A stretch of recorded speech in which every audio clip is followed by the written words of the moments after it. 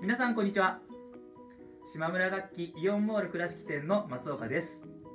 えーただいまですね新型コロナウイルスの拡大により、えー緊急事態宣言が出ておりまして、えー皆様ご自宅で過ごされている方も多いと思います、えそんな皆様にですねぜひギターを弾いていただきたいなと思っているんですけれども、えこちらのアコギを今用意させていただいておりますが、えーせっかくのギター、えー原交換を、ねえしたいと思われる方もたくさんいらっしゃると思うんですけども、えー原交換をするアイテムを持ってない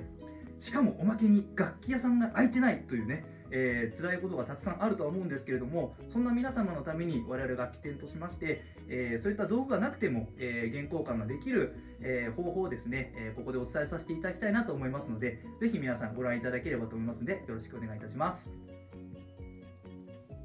はい、皆さんこんにちは。島村楽器イオンモール倉敷店の柿木です。じゃあ早速実際にの原交換は私の方からやっていきたいと思います。えー、と大前提として弦だけがお家にあるような状態で、えー、と他のものが何もないでも弦は交換したいっていう流れでいきたいと思います。じゃあ実際に、えー、とやるんですけどまずは、えー、と弦を緩める緩めていくというところですね。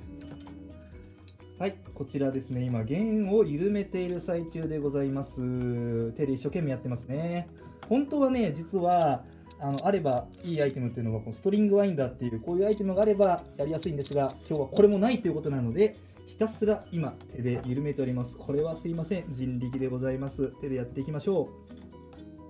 はい、じゃあもうこれで完全に緩まりました。もうこの弦がダルダルな状態ですね。で、実際にもう弦を外すんですけど、ここはもう気をつけながらほどいていくほかないので、こういう感じで取っておきますね。これはいつもの弦交換とあまり変わらないですね。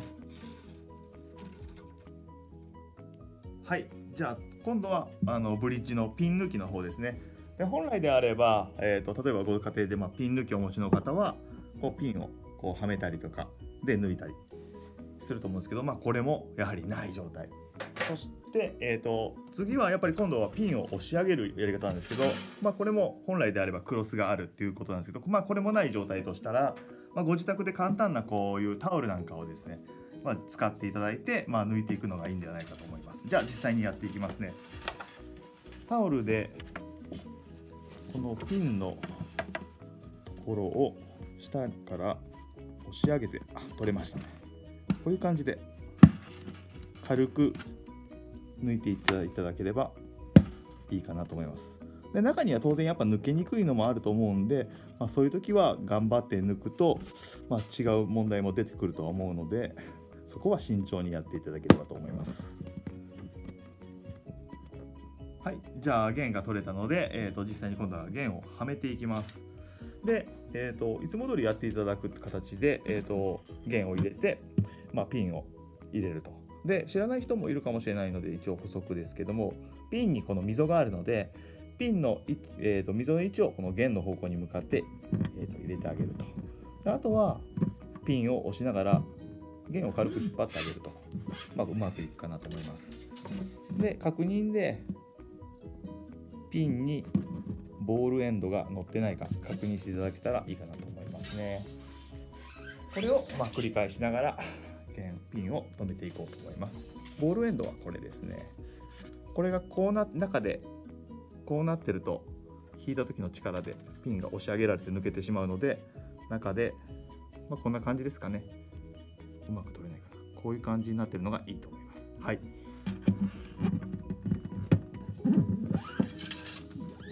はい。はい、じゃあこれで弦が全部ピンで止まったと。サウンドホールから手を入れてもらって、最後、ボールがちゃんと乗ってないか確認してもらって、じゃあ実際に弦を張っていきます。じゃあまず6弦から張っていこうと思います。まずこのポストのこの穴ですね。これに実際まっすぐ通していただいて、で、ピンと張った状態、何も余らせない状態から6弦であれば、まあ、1フレット分ぐらい戻していただいてあとはもう巻きつけていく、まあ、いつもとの流れと一緒ですね。でやっていただければいいと思います。でこのヘッドがねこうやってグラグラすると思うんですけどさっき使ったタオルのようなものでここ下にこう当てて枕に。してもらうのもいい手段かなと思いますね。はいえーとひたすら回していって。はいこれで1本弦が、まあ、腫れたというところですね。で実際だと場合だとこうお家にあるこういうニッパーですね。ニッパーで、まあ、ここを切ると思うんですけど、まあ、このニッパーも当然ない状態ですので、えーと、じゃあどうするかっていうとまあ、何か他のもの代用のものを使ってもらってもいいと思うんですけどもそうすると違う例えば爪切りだとかだと刃こぼれが起こったりとか、まあ、問題もあると思うので、えーと、ご案内としては、まあ、ここはもう邪魔にならないように巻いてしまっておこうっていうことですね。こういう感じで弦を中を中をどんどん通していっていただいてこういう感じ。分かりますかね？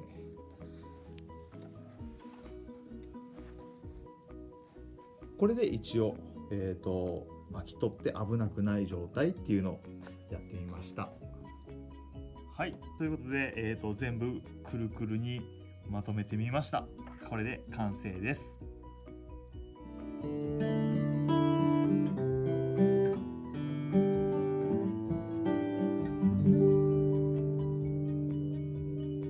はい。ということでね、えー、無事に弦のみでですね、えー、原交換を終えることができました。えー、